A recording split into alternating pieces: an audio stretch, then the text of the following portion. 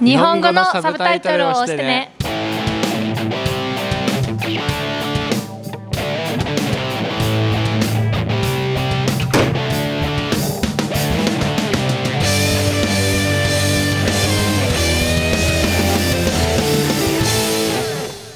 Hallo zu einer neuen Folge von Reptil TV. Ich bin hier in Japan, Shizuoka Prefecture bei Isu äh, im Shirawa, sein äh, Reptilienzoo hier. Shirawa kennt ihr von der Japan Reptile Show. Sein zweites Standbein sozusagen ist dieser Isu. Ganz toller, interessanter Reptilienzoo, wirklich absolute Highlights. Und da werden wir heute mal rumschauen. Uh, the, the zoo is, since how many years you have the zoo? No, three years. Three years now. Okay, also vor drei Jahren hat er gemacht. Äh, hier bei uns noch der Kim aus äh, Spanien, Reptil, Reptile Mania. Äh, auch den meisten bekannt, äh, ein bekannter Echsenzüchter. Er macht heute hier mein. He, he's the one carrying the cable today for me. Also er macht heute mein They got, brought me, they got brought me here to, to, carry the cable. Immer, immer gut, wenn man einen Hiwi dabei hat. Also, schauen wir uns um. Schon, schon das Eintrittshäuschen ist, ist spannend. Hier mit einem roter Leguan hier drin. Hier das Personal steht auch gleich parat und begrüßt einen freundlich. Hier haben wir einen äh, Nubila, ähm, ähm, wie heißen sie, Nashornleguan, Kuba Nashornleguan. Allerdings laut, laut Plakat muss hier auch äh, Iguana delicatissima sein. Ah, da oben sitzen sie, genau. Ah, hier, hier ein Weibchen. Okay, also hier die Inkubatoren werden hier überall ausgestellt. Der, der Chef hat den Schlüssel natürlich.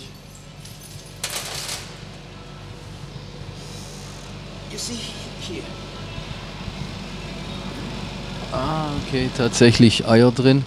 Is what egg? Aldabra. Aldabra tortoise. Okay, jedes Jahr Aldabra-Babys, was er hier züchtet. Also 60 Aldabra-Schildkröten hat er hier. Das haben die, die alle Zoos in Deutschland zusammen circa.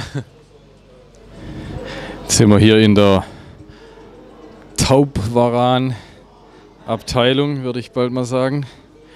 Ähm, der Shirawa war der erste weltweit, der die Taubwarane nachgezogen hat vor, wie gesagt, noch vor zwei, drei Jahren absolute Rarität. Man hat die Tiere gekannt, keiner hat sie gehabt. Äh, jetzt die, die letzten Jahre kamen leider von Borneo, also leider in Anführungsstriche. Äh, einerseits schön, dass man Tiere bekommen hat. Ich glaube, man hat fast zu viele aus, aus der Natur genommen, wobei sie dort nicht übermäßig, da wo sie vorkommen, wohl gar nicht so selten sein sollen. Es ist jetzt, ich meine, das ist vielleicht der gute Teil an dieser Story. Äh, man hat sie aus Borneo die letzten Jahre dort gewildert und, und rausgebracht. Ähm, das Schöne ist, dass man jetzt die Tiere wirklich nachziehen kann.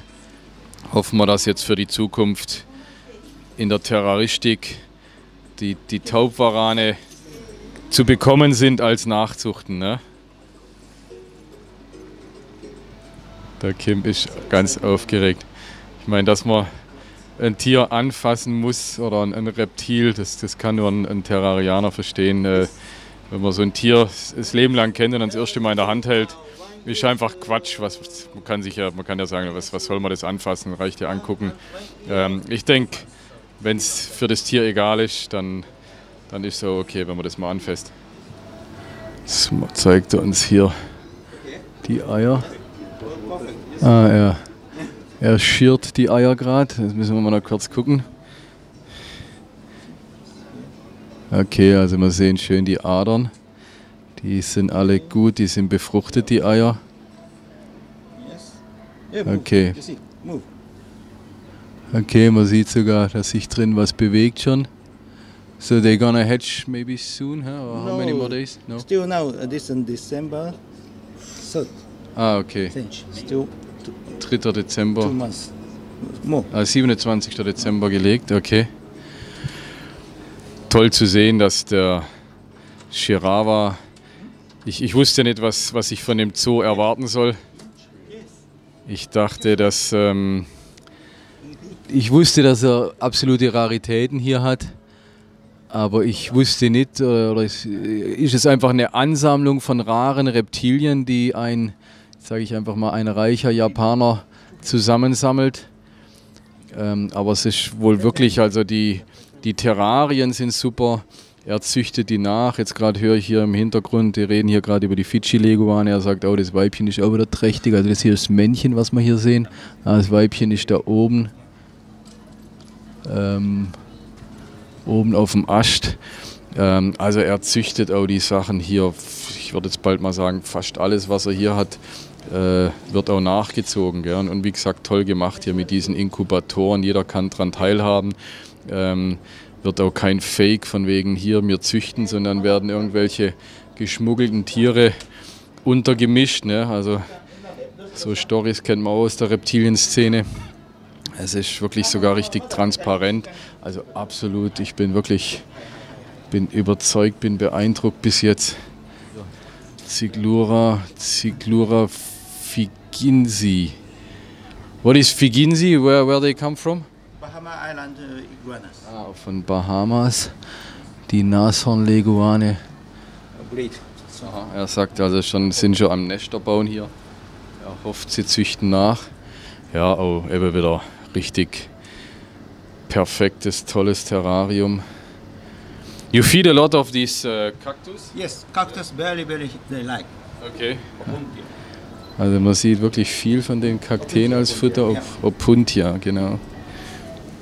Ah, hier haben wir äh, ist Axolotl? Ambistoma, ja, Ambistoma mexicanum.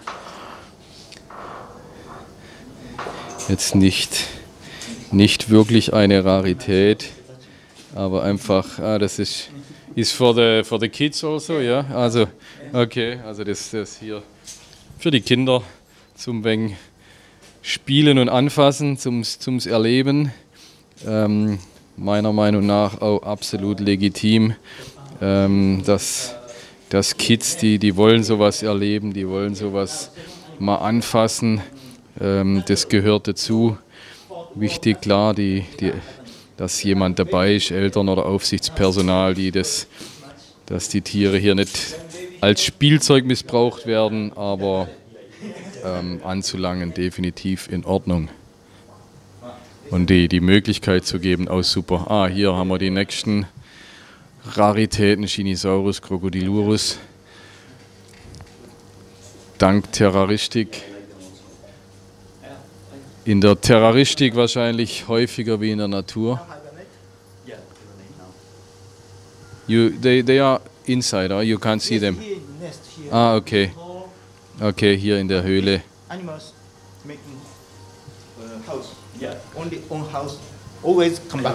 Yeah, Same house. I know, I know. Ah, okay, also die, die machen ihr, die machen ihre, ihre Höhlen, ihre Tunnel, ihre Bauten und da bleiben sie.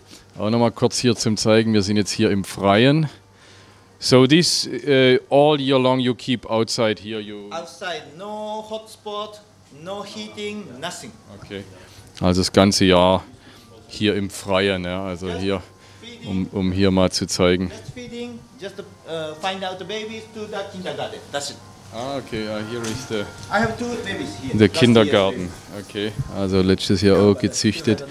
Hier sind sie, hier sind die abgetrennt, die, die Nachzuchten. Jetzt pass auf, was hier kommt. Galapagos Marin Iguana. Was man sehen muss, ähm, Galapagos einerseits klar eine tolle Sache, ein, ein Weltkulturerbe sozusagen. Die Frage ist, wie geht es mit dem Weltkulturerbe weiter, mit Klimawandel und so weiter. Ähm, die Methode, die Galapagos macht, dass keine Tiere, absolut gar nichts rauskommt, ist das gut oder nicht? Ähm, ich bezweifle es, dass es gut ist. Also, sie essen diese, diese japanischen Algen genauso gern wie die Galapagos-Algen und, und ich meine, das wissen wir, oder das ist ja fast allgemein wissen, dass die Japaner jeden Tag sich von Algen ernähren.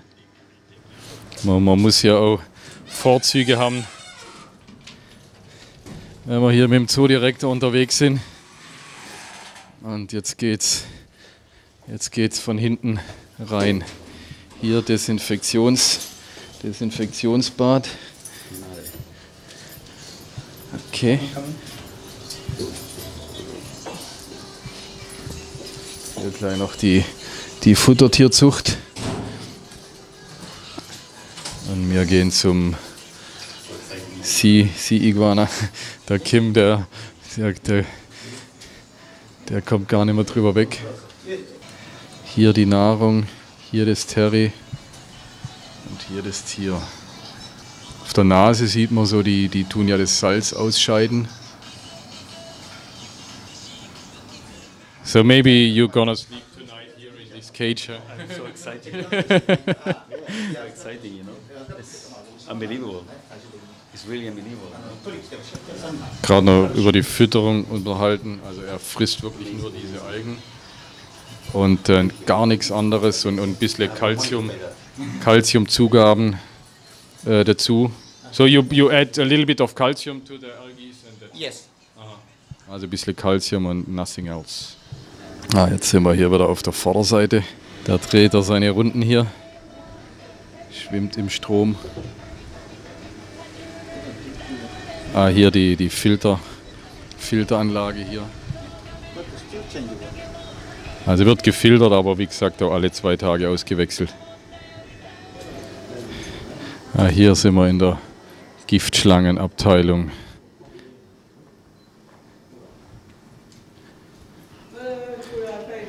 Who handled the venomous stuff? All you? Yes. Nobody else. Okay, also er ist nur der. These two days uh, no come here. Uh, many still dirty, so don't, don't okay. take photo. Okay, er sagt also, jetzt war ja die, die Börse. So, because of the expo at the weekend. you Yes. cannot come. Yes. Ja, oh, also toll. Ne? Er sagt hier, Wochenende war Börse, Reptilienbörse. Deswegen konnte er nicht kommen und versorgen und, und sagt, ich soll hier nicht filmen, weil zum Beispiel hier sieht man jetzt ein bisschen Code. Okay, also er macht äh, hier kann er das unterteilen, vierfach. Er sagt, äh, gar keine, absolut unmöglich, so eine Mamba anzufassen oder so, sondern einfach, es wird geviertelt, das Terrarium, und dann wird jede Abteilung für sich sauber gemacht. Ne? Okay, interesting, ja.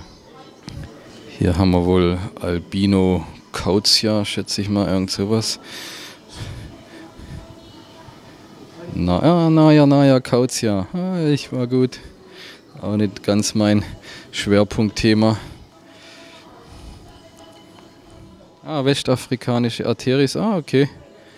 Sind vielleicht die, die wir schon gesucht und nie gefunden haben in Afrika im Busch. Okay. Zumindest weiß ich nächstes Mal nach was ich optisch suchen muss. Magistrodon hier, Piscivorus, Naya sputatrix, äh, Speikobra, ne? Ah, hier Königskobra, Ophiophagus hanna. He said uh, one of the most intelligent snakes, you think so? Or you don't see anything? er sagt, nee, findet er nicht. okay.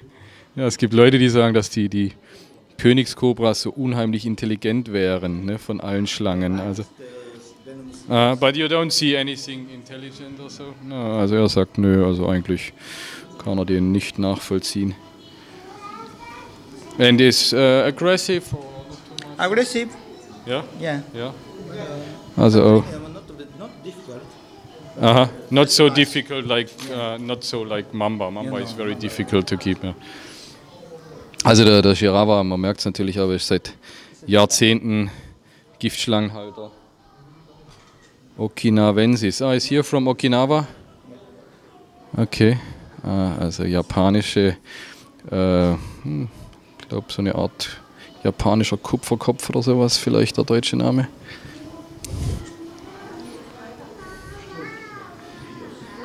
Naya Pallida. Wow, hübsch. In Tanzania. From Tansania, ja? Ah. Okay. Okay, also er sagt, es gibt hier in Japan gibt's keine äh, Schlangenserenzentren wie in anderen Ländern.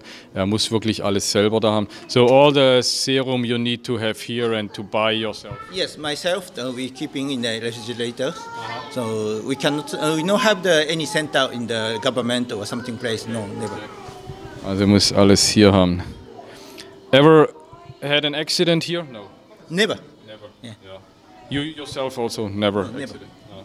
Also noch nie irgendeinen Unfall gehabt mit Giftschlangen, aber nichtsdestotrotz muss man das natürlich alles da haben. Äh, was auch finanziell, also wer sich damit auskennt, der weiß, dass das finanziell natürlich auch nicht leicht ist, wenn man die ganzen Serien persönlich parat haben muss. Jetzt geht es hier in die, in die Tiefen. Ah, schön gemacht auch alles. Ach, hier ein paar alte Bekannte, die glaube ich, maybe I ship them to you those? Yes. Ja, okay, die habe ich ihm vor einigen Jahren geschickt hier. Okay. Äh, hatte ich noch eine Diskussion mit einem deutschen, mit einer deutschen Auffangstation, ob die dann auch wirklich gut untergebracht sind. Ich behaupte, die sind gut untergebracht. Also hier ist die, die äh, wie soll man sagen, die Erklärungsecke ne, oder die Erlebniserklärungsecke. Äh, die Behälter wird jeden Tag gewechselt, jeden Tag verschiedene oder andere Tiere. Ne, also auch für Leute, die regelmäßig herkommen, ähm, kriegen sie was zu den Tieren erklärt, dürfen sie auch mal anfassen. Ähm, wie gesagt, meiner Meinung nach auch das Anfassen. Der Mensch will die Dinge erleben, indem er sie auch mal in der Hand hat. Ähm, ein Tier ist kein Spielzeug, klipp und klar, aber ein Tier, oder man, man hat halt auch mehr Sinne wie nur das Auge. Ne, die, die Ohren sind bei den Reptilien eh nicht wichtig zum Erfahren. Ne? Letztendlich das meiste sieht man mit den Augen, aber will es auch mal mit den Händen erleben, erfassen, die Haut anfassen. Äh, finde ich gut, finde ich richtig, finde ich toll.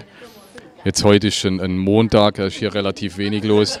Ich denke mir andere Tage, wo hier auch viele Kinder sind, das erleben können. Also ich bin absolut der Überzeugung, Kinder, die die Reptilien wirklich live erleben und auch anfassen und, und erleben können, die werden auch die Natur schützen und werden sich sagen, okay, das Reptil lebt da und dort, also muss ich den Regenwald schützen, muss ich die Natur schützen, wenn ich die Tiere erhalten will.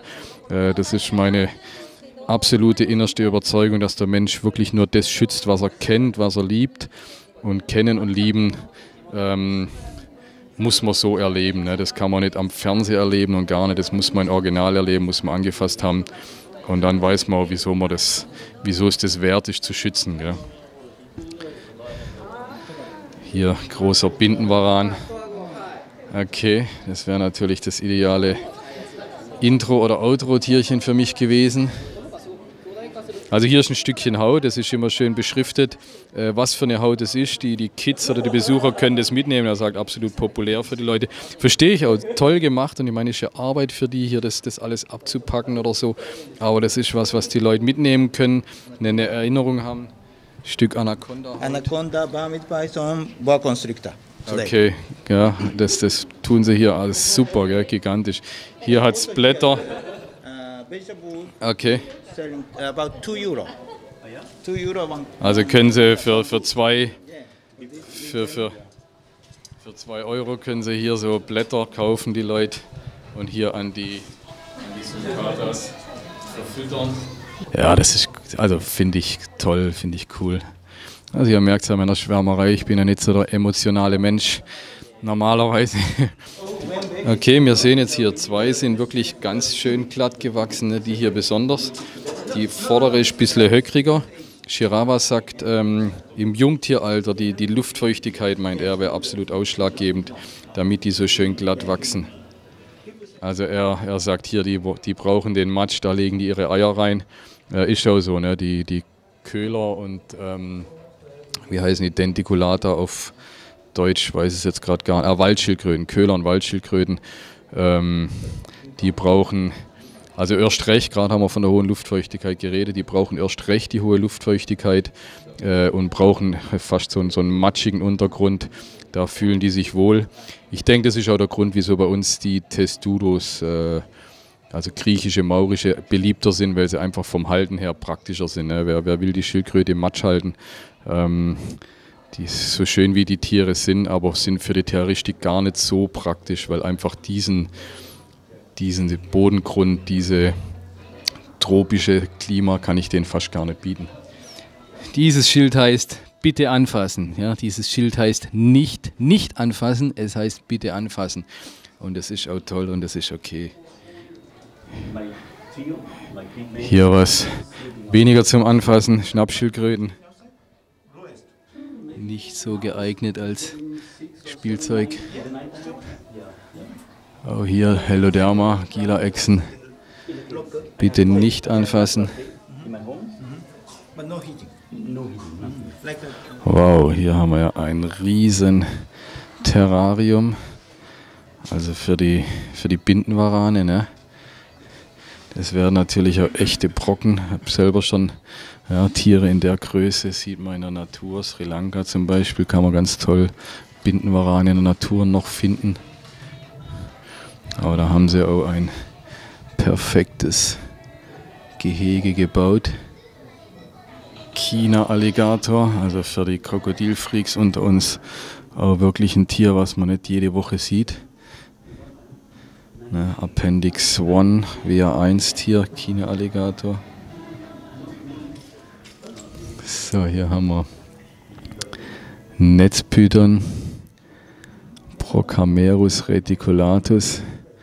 Aktuell wird ja laufend Bemühungen diverser neidischer Menschen, den Procamerus in Malayo Python umzutaufen. Ähm, nomenklaturtechnisch eine absolute Unmöglichkeit, weil er hieß einfach Procamerus seit 2006, wurde auch so bestätigt. Und bloß aus Neid und Missgunst den Namen umzubenennen, geht natürlich gar nicht. So, jetzt, liebe Leute, schaut mal her, wir sind hier, wir sind hier auf den Seychellen gelandet. Also hier die ganz große ist sogar eine Galapagos-Schildkröte. Also das ist mal hier eine, eine Sammlung von und auch oh, perfekt gewachsen, gell? And the, the look, the, the shape of the shell is, is perfect, you know, it's almost like the wild, or not? Ich war schon gleich ein bisschen enttäuscht von der Behältergröße. Ähm, ab 10 Grad und es hat hier, ist die Tür offen hier. Okay, also Kinder unter 30 Kilo dürfen auch mal drauf sitzen. er sagt, er sagt äh, okay, dann behaupten Leute Stress für die Schildkröten, aber die Schildkröten züchten auch, wenn die Kinder drauf rumreiten. Und, und eben, sie haben da klare Richtlinien, 30 Grad. Okay, also hier ist das Outside-Gehege, Außengehege. Natürlich auch wunderschön, echt. Also hier die Bepflanzung, alles.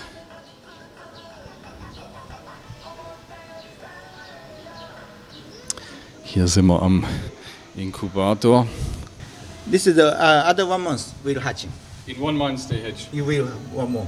You see, this one almost white, almost Uh-huh. dark. Ah, okay. This one can see inside. okay. This one no okay. fat. Okay. This is no good.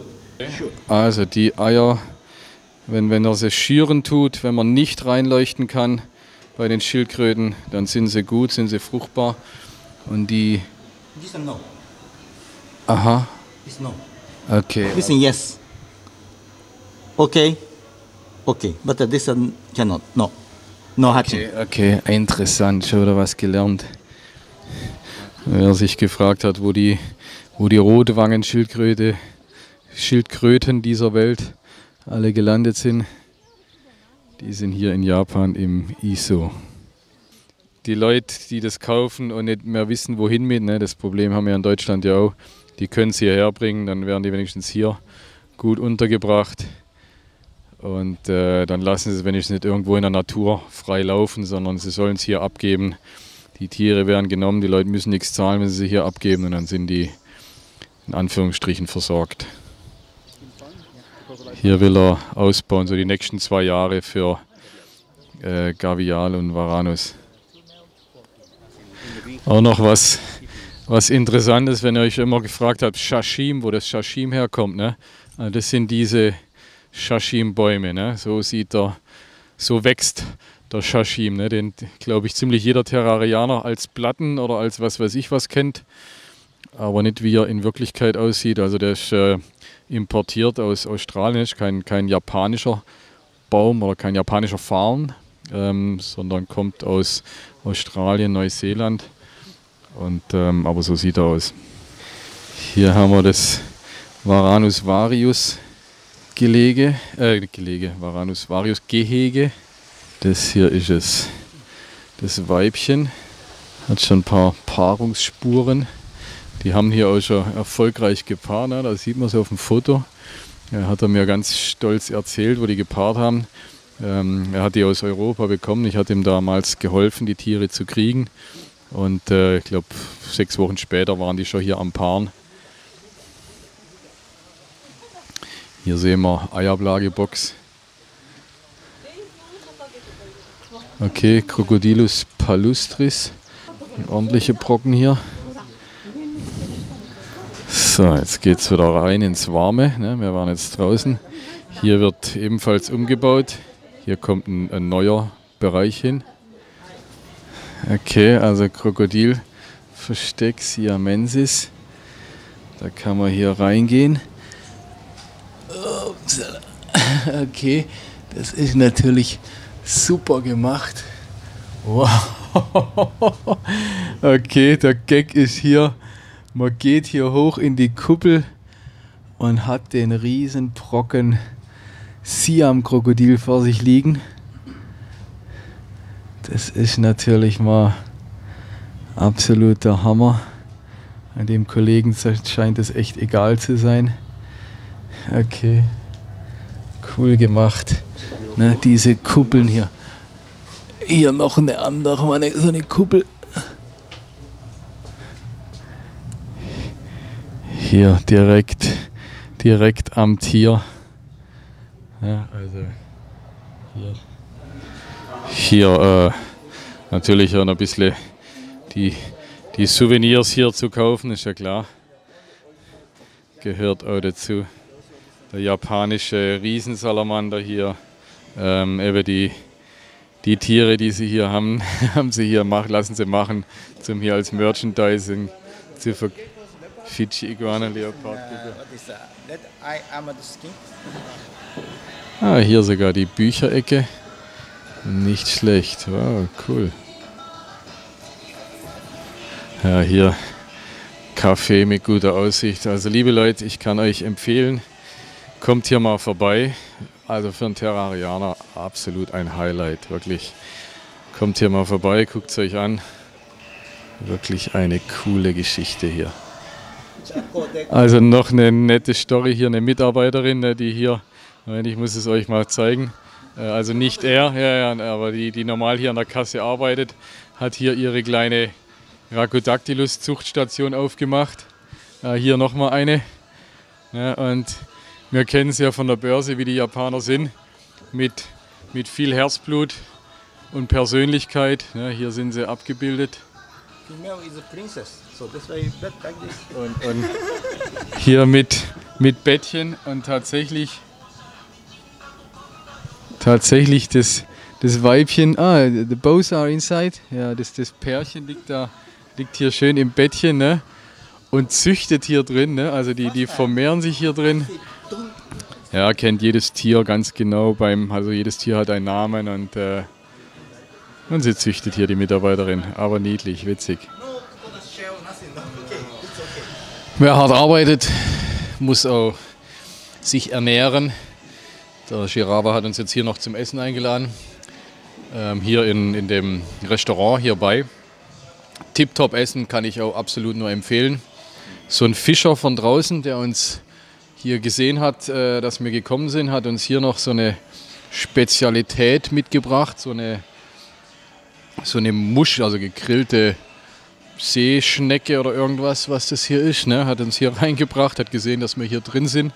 Ähm, echte Spezialität hier, ja, tippitoppi, alles richtig gemacht, dass wir hier sind.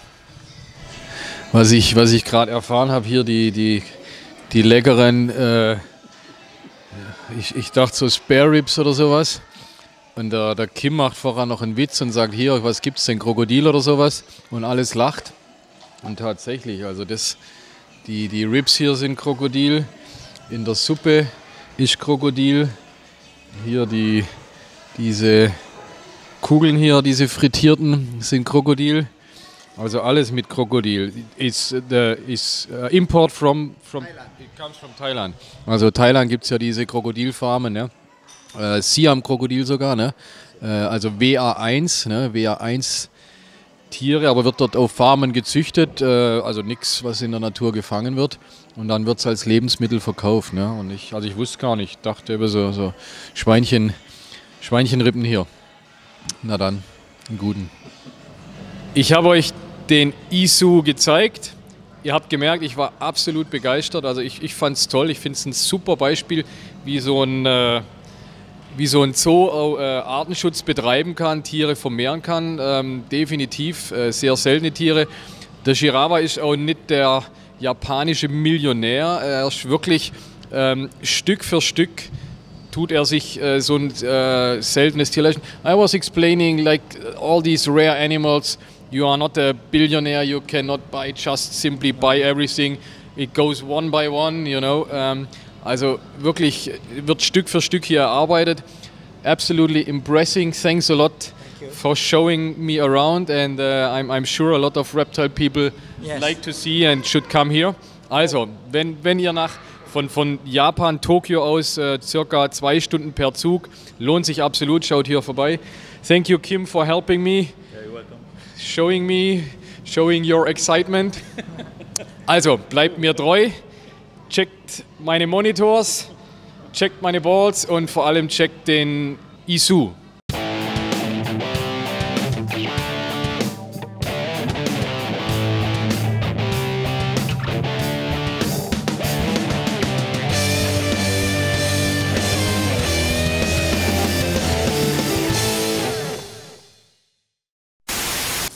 You, you got a little bit an kind of orgasm. I don't know. I, I don't know what to say. you got super. Li-